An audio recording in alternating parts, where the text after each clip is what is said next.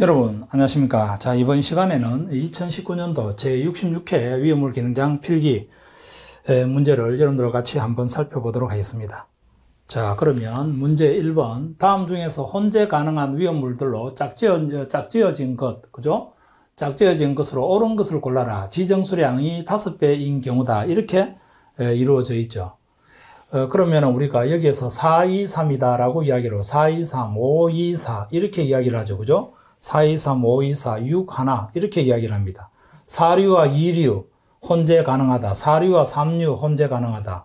5류와 2류, 5류와 4류 혼재 가능하다. 6류와 1류 혼재가 가능하다. 자, 그러면 여기서 피리딘이라고 하면 제 4류가 되는 것이죠. 그죠? 피리딘이라고 하면 제 4류 위험물이 되는 것이고, 염소산 칼륨은 제 1류 위험물이 되는 것입니다. 그죠? 제 1류 위험물. 그러니까 1류 위험물은 6류 위험물하고 서로 혼재가 가능한, 가능한데, 에, 뭡니까? 4류는 어, 되지 않는다. 그래서 잘못된 것이다. 등류는 제 4류가 되겠죠. 그죠? 등류는 제 4류. 질산이라고 하면 제 6류가 되겠습니다. 그죠? 그러니까 이것도 우리가 6류 같은 경우에는 1류밖에 안 된다. 그죠? 테레핀류. 그죠? 이것은 우리가 제4류라고 볼 수가 있겠죠. 정린이라고 하면 2류 위험물이다. 이렇게 볼 수가 있겠죠. 그렇죠? 그러면 4류와 2류 서로 혼재가 가능하다. 옳게 짝지어진 것은 답은 3번이 되는 것이죠. 탄화칼슘은 이것은 제3류 위험물에 해당이 됩니다. 과염소산이라고 하면 6류 위험물이 되니까 그렇죠? 어, 그래서 여기서 해답이 되는 것은 3번으로 여러분께서 정리를 하실 수가 있겠죠. 무슨 말인지 이해가 되겠습니까? 그죠? 자, 그 다음에 다음 물질 중에서 색상이 나머지 색과 다른 하나는 무엇인가 이렇게 이루어져 있습니다. 중크롬산 나트륨 이것은 우리가 색깔이 우리가 무슨 색깔로 나와 있는가 하면 덩적색으로 이렇게 나와 있습니다. 덩적색. 그런데 이 나머지는 전부 우리가 무색입니다. 무색. 그렇죠? 무색. 어, 그러니까 우리가 2번에 해답이 되는 것은 1번으로 정리하시면 되겠죠. 그렇죠? 중크롬산 나트륨. 그렇죠? 중크롬산 나트륨. 이거는 우리가 덩적색이 되는 것이다. 이렇게 정리해 두시면 되겠죠. 자, 그 다음 3번에 초유 폭약, 암포 폭약이라고 이야기합니다. 암포 폭약의 주 원료로 사용하고 있는 것은 뭐 어떠한 물질을 가리키는가 하면 염소산, 그렇죠? 어, 염소산 암모니움이다. 그죠? 염소산, 아, 질산 암모니움이 되겠죠. 그죠? 질산 암모니움. 암포 폭약, 질산 암모니움. 질산 암모니움이라고 하면 NH4, 그죠? 질산, NO3. 어, 이것을 우리가 암포 폭약의 주 원료로 사용이 되는 것이고 흑색 화약의 주 원료는 KNO3 그죠? 어, 질산 칼륨에다가 황가루하고 더하기 숯가루 이렇게 혼합이 되어 있는 것을 우리가 에, 흑색 화약이라고 이야기를 할 수가 있겠죠. 그래서 여기에서 3번의 해답은 2번이 되는 것이죠. 무슨 말인지 이해가 되겠습니까? 자, 그 다음에 질소가 3.5g은 몇 그램 몰에 해당이 되는가? 어, 질소를 우리가 N2라고 이야기합니다. 그죠? 질소 1몰이라고 하면 이것은 우리가 몇 그램이 되는가 하면 어, 질소 한 개짜리가 14g이죠. 그죠? 개수가 두 개 이렇게 있기 때문에 이것은 우리가 28g이다. 그래서 질소 1몰은 우리가 28g이다. 이렇게 볼 수가 있겠죠. 그러면 여기에서 3.5g은, 그죠? 3.5g은 몇 몰이 되는가? X몰이 되는가? 이렇게 우리가 묻고 있는 것이다. 그죠? 묻고 있는 것이다. 자, 요렇게 곱하고 요렇게 곱하면 우리가 이꼴 관계가 성립이 되겠죠. 그래서 x 곱하기 28에다가 이 꼴은 1 곱하기 3.5 이렇게 정리가 되겠습니다. 어, 그러면 x 이꼴은 얼마, 아, 어, 얼마가 나오는가?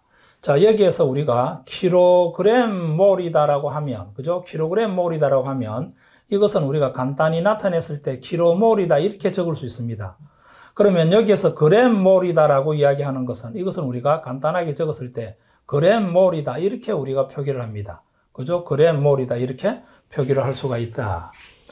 똑같은 말이 되겠죠. 그죠? 어, 무슨 말인지 이해가 되겠습니까? 그죠? 이렇게 여러분께서 정리를 해 두시면 되겠습니다. 4번에 이렇게 계산을 한번 해보니까 답은 우리가 2번이 답이 나오는 것이다. 그죠? 2번이 답이 나오는 것이다. 이렇게 여러분께서 정리가 가능하죠. 자, 그 다음에 문제 5번 문제. 토출량이 5세제곱미터 퍼 민이고 토출구의 유속이 2m 퍼 세크다. 펌프의 구경은 몇 미리가 되겠는가? 자, 여기에서 우리가 Q라고 하는 것은 A 곱하기 V라고 하는 공식을 이용을 해서 계산을 할 수가 있겠죠. 어, 그러면은 어, A라고 하면 4분의 파이 곱하기 D의 제곱이다 이렇게 볼 수가 있겠죠. 그죠? 곱하기 V가 되는 것이다. 자, 이게 우리가 Q가 되는 것이다. 그러면 Q가 5 세제곱미터, 그죠? 5 세제곱미터, 5 세제곱미터 퍼 민이다. 이렇게 이루어져 있죠. 그죠? 그러면 이 분을 우리가 세커 단위로 한번 나타내 보도록 하겠습니다. 1분은 우리가 60세커가 되는 것이다. 자, 이렇게 약분이 되어서 떨어져 나가겠죠. 자, 이 꼴은 4분의 파이에다가 곱하기 d, 그죠? d의 제곱은 우리가 얼마나 되는가? 그러면 유속은 2m per sec가 되는 것이다. 2m per sec. 그렇죠? 2m per sec. 어, 그러니까 같은 단위로 이렇게 대입이 되어 있죠. 그죠? 자, 그러면은 우리가 t의 제곱으로 이렇게 이 꼴을 하게 되면, 그죠? 에, 뭡니까? 왼쪽에 넘어가게 되면 5 나누기 60에다가, 그죠? 이것이 왼쪽으로 넘어가게 되면 분모에다가 2가 나오겠죠. 4가 왼쪽으로 내려가면 분모에다가 분자에다가 4가 나오겠고, 그죠? 여기에 파이 이렇게 정리가 되는 것이죠. 자, 그러면 이것을 우리가 여기에서 우리가 d를 우리가 뽑아내려고 하면 양변에다 아, d를 뽑아내려고 하면 루트를 시켜 시켜버리면 되겠죠. 그죠? 어, 60 곱하기 2 곱하기 파이에다가 그죠? 5 곱하기 4 이렇게 여러분들께서 정리를 하실, 하실 수가 있겠다. 자, 이렇게 계산을 하게 되면 여기에서 세커, 세커 이렇게 약분되어서 떨어져 나갑니다. 그죠? 세커하고 세커하고 이렇게 약분되어서 떨어져 나가고 결국 이 메다하고 세제곱메다하고 합쳐가 어, 뭡니까? 어, 여기에서 우리가 D라고 하면 얼마? 어, 여기에서는 우리가 메다가 나오겠죠. 그죠? 단위로 한자, 어, 단위로 환산을 하게 되면. 어, 그래서 여기에다가, 그죠? 곱하기, 그죠?